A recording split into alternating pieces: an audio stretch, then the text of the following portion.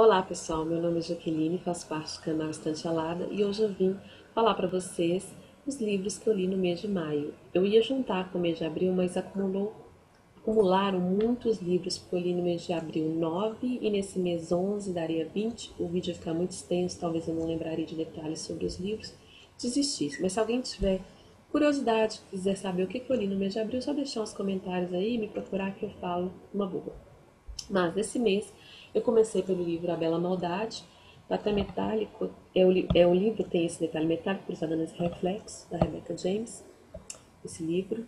E ele é um thriller psicológico. O livro conta a história da Catherine. Catherine tem uma irmã que foi morta, a Rachel.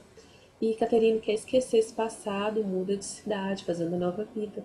Lá ela conhece Alice, Alice é muito popular, muito divertida, tem um temperamento um pouco forte, mas a amizade das duas fica muito intensa e elas vivem muitas coisas juntas. Mas a partir de um certo momento, é, começa a questionar essa amizade, questionar algumas coisas que ela desaprova. E aí acontece algumas coisas que eu não posso falar, porque senão vou soltar um spoiler. Mas o livro é muito bom, eu recomendo. O próximo livro que eu li foi Ame e Beijo Francês, da Stephanie Perks. É um YA. Não é o meu favorito, gente. Eu sei que tem muita gente que gosta, eu já vi aí nos blogs, nos blogs, em todos os lugares aí das redes sociais que falam sobre livros. Muita gente que gosta desse livro, mas não foi meu favorito não. Mas é bonzinho para quem quer relaxar, uma leitura tranquila, para passar o tempo, vale muito a pena. Conta a história da Ana. A Ana tem os pais separados e ela o pai dela é um escritor de best-sellers, né? Os livros dele viram, viram filmes em Hollywood. A Ana fala até com certo desdém sobre os livros do pai dela, acho que ela não agrada muito. Mas o pai dela, um novo rico, resolve mandar Ana estudar na França, Paris. Lá, a Ana é obrigada a ir porque ela não queria, não, porque ela está acostumada com a vida que ela tem, gosta dos amigos, do namorado, da vida, né? Que ela tem na cidade dela. Mas ela vai. E aí ela conhece algumas pessoas, conhece Saint Clair, e a partir daí desenvolve uma amizade muito forte entre eles e muitas coisas acontecem. O ponto forte desse livro, na minha opinião, é Paris mesmo. A descrição da cidade, dos monumentos. Isso é muito bacana.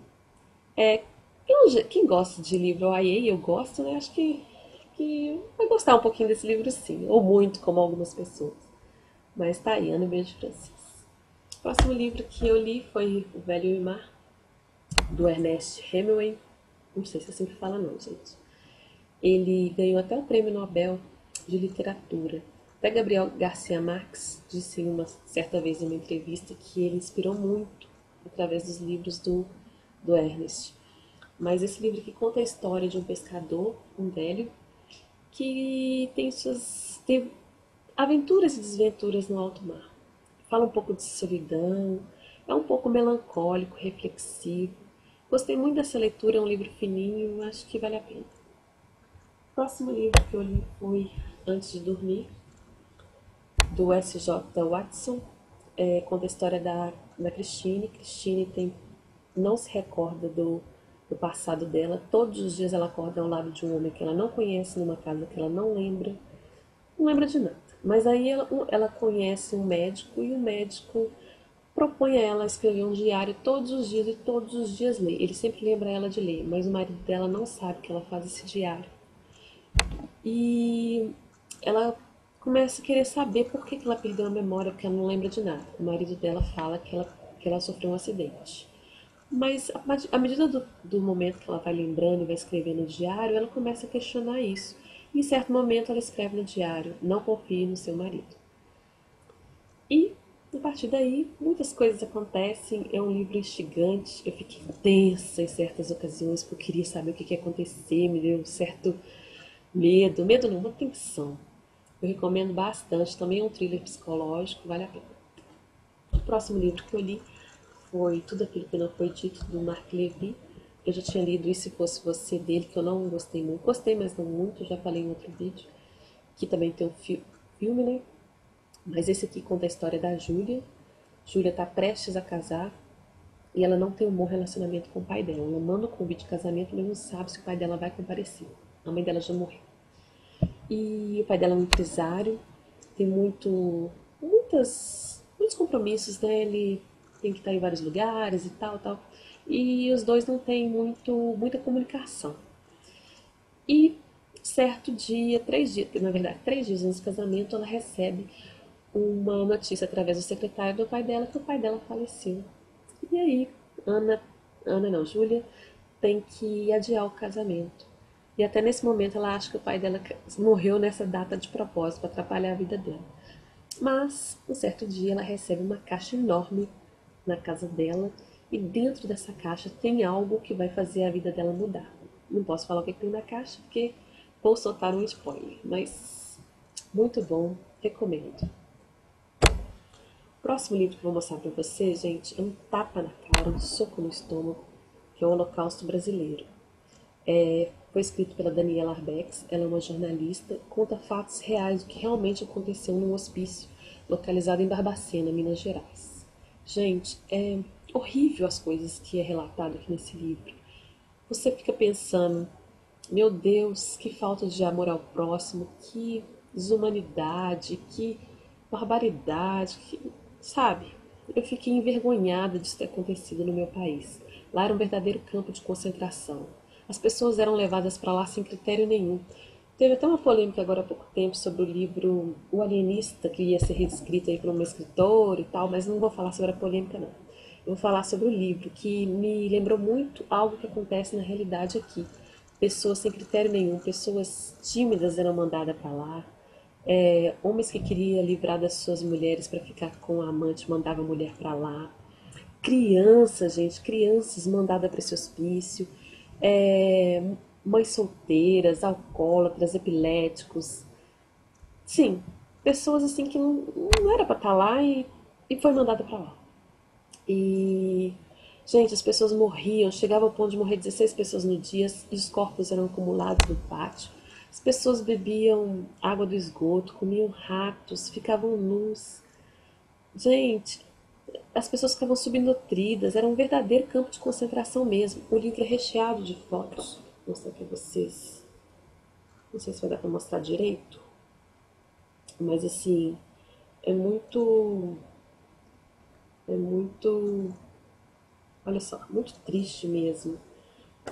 Tem fotos aqui que você fica pensando assim: meu Deus do céu, não é possível que isso aconteceu, mas aconteceu mesmo, porque essas fotos foram tiradas na década, foram tiradas na década de 60, que um jornalista denunciou, mas não aconteceu nada.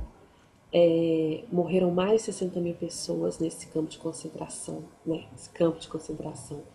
É, entre 1926 e 1960. Gente, terrível, terrível.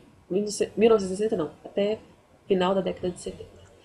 É, no começo da década de 80 parece que reformaram e tal, mas a Daniela conta histórias de, de alguns dos 200 sobreviventes, algumas histórias, digamos assim, de superação, né? Porque tiveram que aprender a viver novamente, porque o que eles viviam lá, que lá não era vida. E alguma pessoa, umas pessoas comentaram aqui nos comentários que tem atrás que é até digna de, um, de romance a história dessas pessoas. E realmente eu me emocionei muito com algumas histórias. Conta também histórias de pessoas que trabalhavam lá, mas que não eram partidários do que acontecia. É, é interessante aqui, em um dado momento, fala até sobre é, um conto de Guimarães Rosas, que é o Soroco, que eu já até li, está no livro Primeiras Histórias mas eu não lembro direito do livro não, que Guimarães Rosa fala sobre trem de louco, que ele conhecia essa realidade, porque pessoas eram colocadas nesse trem e mandadas para Barbacena. Gente, eu não vou falar muito sobre esse livro, não. Eu ia até fazer uma resenha sobre ele, mas na época que eu terminei de ler, eu estava tão emocionada que eu acho que eu não daria conta de fazer. Não dei, não dei conta mesmo. Então eu desisti resolvi falar agora, mas vale muito a pena. Apesar da história ser muito triste, muito revoltante. Daniela Arbex merece cinco estrelas pelo trabalho dela. Vale muito a pena ler, gente. Acho que todo mundo deveria ler para conhecer o que aconteceu realmente no nosso país. Para isso não acontecer novamente. É, próximo livro que eu li foi uma literatura mais tranquila, que faz parte da trilogia A Seleção, é o último livro, A Escolha.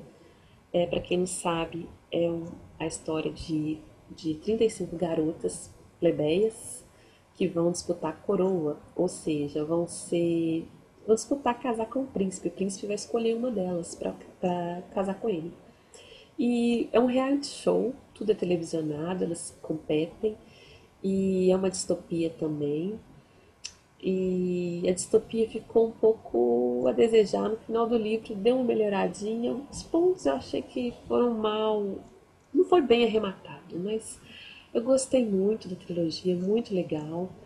É, o primeiro livro eu gostei muito, o segundo não muito, eu acho que eu tinha falado que eu não gostei muito da América, mas a América se redimiu no terceiro livro.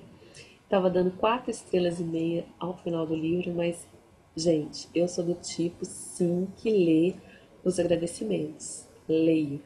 E aqui era Cass fez um agradecimento lindo, então eu dei mais meia estrela para ela só por conta do agradecimento. Vale muito a pena, uma, uma leitura bem tranquila também, gostei muito. O último, último não, tem vários livros ainda, mais quatro. Próximo livro, 1984, George Orwell.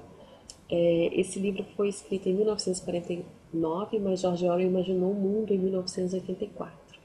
Galerinha aí que é fã de Big Brother devia ler esse livro, porque aqui o, eu ouvi dizer que o autor do Big Brother, né, se inspirou no Big Brother daqui, o Grande Irmão. Ele é um, um líder que ele, é, ele aparece numa televisão, na verdade não é uma televisão, é uma teletela que consegue visualizar tudo que as pessoas fazem. E, e as pessoas tinham essa televisão, essa teletela dentro de casa, então elas não poderiam falar nada, é, fazer nada sem que o governo visse o que elas estavam fazendo. E conta a história do. O, qual é o nome dele? Winston. Winston trabalhava no partido, mas ele começava a questionar algumas coisas, porque o passado sempre era modificado. Ele mesmo modificava, porque ele trabalhava no Ministério da Verdade. Só que o Ministério da Verdade fazia coisas para mentir. Né? Trocava as informações do passado para as pessoas acreditarem que elas nunca existiram, ou que existiam da, da maneira que o governo quer que elas sejam. E ele conhece Júlia. Júlia tem um envolvimento amoroso proibido com ela, porque para ter um envolvimento amoroso o governo tem que aprovar. E ele era casado, apesar de ter separado a esposa, a esposa desapareceu, mas não era casado, é separado oficialmente. Mas eu vou fazer um comentário assim meio pessoal. Eu eu consigo visualizar a Júlia, é uma garota, ela tem 26 anos, eu consigo visualizar a Júlia em 1944, mas eu não consigo visualizar a Júlia em 1949, a época que o autor escreveu, porque ela é muito desinibida, muito. Não sei bem a palavra, mas eu acho que um pouco disso é com relação à rebeldia do que ela vivia na época. Mas eu achei interessante esse pensamento do autor, da moça do, dessa época e não da época dele. Então, é, é, eles vão contra o governo, mas pagam um pouco caro por isso, né? Tudo é observado, tudo, tudo, tudo. Vale muito a pena, gente. É, algumas coisas também me desagradaram, tirei uma estrela, apesar desse livro ser um clássico, tem gente que adora. É um livro muito bom mesmo, mas não é tão bom quanto A Revolução dos Bichos, do mesmo autor que eu amei. Mas eu recomendo, muito bom. Próximo livro, gente, esquece tudo, esse para mim está sendo um dos melhores livros que eu li nesse ano. E olha que eu já li muita coisa esse ano. É A Luz entre os Oceanos da M.S.L. Stigman. É uma autora, é uma autora australiana e conta a história da, do Tom e da Izzy, a Isabel. E eles vivem um romance muito bonito, mas eu não posso falar muito sobre o que acontece porque tem escolhas, é, algumas escolhas que eles fazem é um pouco polêmica, mas eu assim não consigo. Eu fiquei dividida várias vezes para esse casal, ora pro Tom, ora pela Izzy, ora pela uma outra pessoa do livro. E não vou falar porque aparece um pouco depois. Mas eles vivem, tá vendo aqui um farol? Eles vivem nesse farol e acontece alguma coisa que vão, vai mudar a vida deles. É, é difícil fazer julgamento de pessoas. Nesse livro aqui, eu tô, tô sendo muito subjetiva com medo de soltar spoiler, mas Gente, é muito bom esse livro, muito, muito, muito bom. Eu até dei cinco estrelas no Scooby e ainda favoritei, de tanto que eu gostei desse livro. O pessoal aí que gosta de Dançando sobre Cacos de Vidros, que é um livro muito bom também, mas eu garanto que esse aqui é muito, muito, muito melhor. Ele. Gente, não julguem o livro pela capa. Eu sei que a capa dele não é lá grandes coisas, não, mas o livro é ótimo. Super recomendo, super recomendo mesmo. próximo livro que eu li esse mês foi o mês das, dos clássicos sem eu querer.